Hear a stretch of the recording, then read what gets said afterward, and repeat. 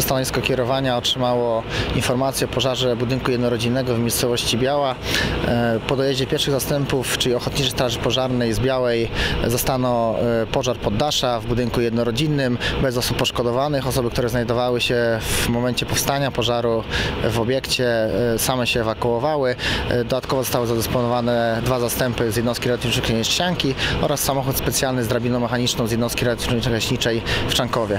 Działania straży polegały przede wszystkim na zabezpieczeniu miejsca zdarzenia, podaniu jednego prądu wody w natarciu na palący się obiekt, e, dotarciu do źródła ognia, usuwaniu nadpalonych konstrukcji drewnianych e, tego budynku, a także na pracach rozbiórkowych i zabezpieczających e, teren po pożarze.